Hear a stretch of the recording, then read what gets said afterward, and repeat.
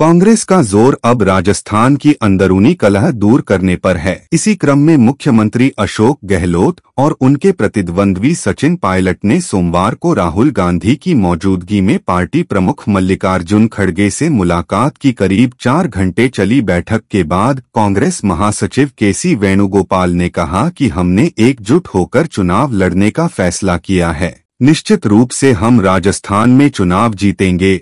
कांग्रेस अध्यक्ष खड़गे और राहुल गांधी की गहलोत और पायलट के साथ चार घंटे की लंबी चर्चा के बाद कांग्रेस महासचिव केसी वेणुगोपाल ने कहा कि अशोक गहलोत और सचिन पायलट दोनों ने सर्वसम्मति से इस प्रस्ताव पर सहमति जताई है। डॉट इससे पहले गहलोत ने खड़गे से शाम करीब छह बजे उनके आवास पर मुलाकात की। जिसके कुछ मिनट बाद राहुल गांधी भी इस मीटिंग में शामिल हो गए। कांग्रेस प्रमुख और राहुल गांधी ने गहलोत के साथ करीब आधे घंटे तक विचार विमर्श किया, जिसके बाद पार्टी के राजस्थान प्रभारी सुखजिंदर रंधावा को बुलाया गया। राज्य के नेतृत्व वाली पिछली भाजपा सरकार के दौरान भ्रष्टाचार पर निष्क्रियता के मुद्दे पर गहलोत सरकार पर हमलावर रहे पायलट दो घंटे बाद खड़गे के आवास पर बैठक में शामिल हुए। एआईसीसी के महासचिव केसी वेणुगोपाल और राजस्थान से पार्टी नेता जितेंद्र सिंह भी बैठक में मौजूद थे। लंबे अंतराल के बाद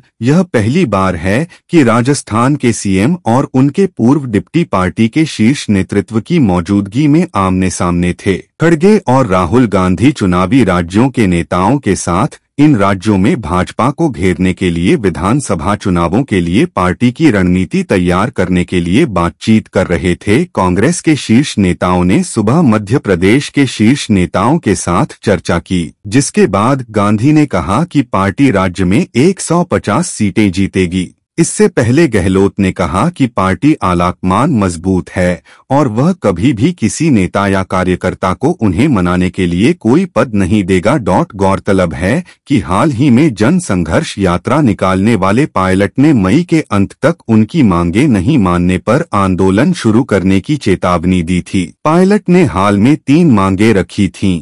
राजस्थान लोक सेवा आयोग आरपीएससी को भंग करना और इसका पुनर्गठन, पेपर लीक से प्रभावित युवाओं को मुआवजा और पूर्ववर्ती वसुंधरा राजे नीत सरकार के खिलाफ भ्रष्टाचार की जाँच मांग कर रहे थे। Rajasthan assembly election, Congress president and Rahul Gandhi ji had a detailed four hour long discussion with Ashok Gehlot ji and Sachin Pilot ji and in charge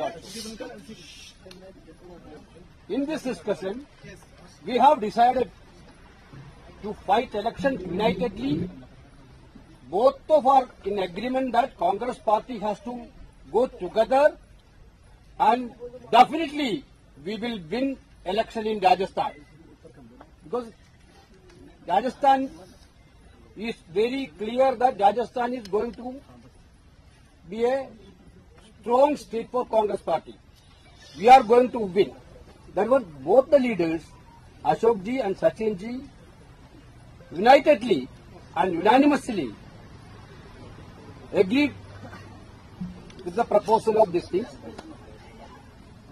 This is what I want to tell.